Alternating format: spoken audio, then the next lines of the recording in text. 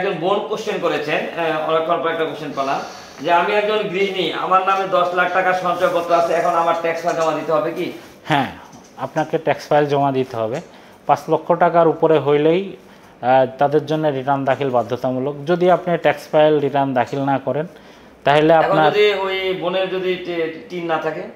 তাহলে tin open করে আপনাকে রিটার্ন দাখিল করতে হবে এবং এই বছরই করতে হবে। যদি না করেন তাহলে সেক্ষেত্রে আপনার মুনাফার উপরে যে এখন টেন পার্সেন্ট টিডিএস কাটা হয় ওটা ফিফটিন পার্সেন্ট কাটা হবে।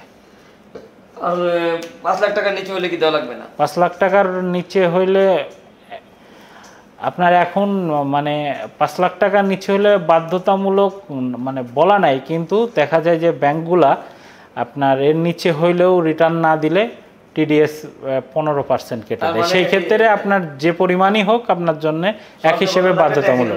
মানে বাধ্যতামূলক। আচ্ছা। বুদ্ধিমানের কাজ। ঠিক আছে আশা করি আপনারা অতটা পেয়েছেন। ভিডিওটা ভালো লাগলে লাইক শেয়ার দিয়ে বন্ধুত্ব মানে শেয়ার করে বন্ধুদের সাথে শেয়ার করবেন। পরবর্তী দেখার জন্য আপনারা ভালো রাখতে পারেন।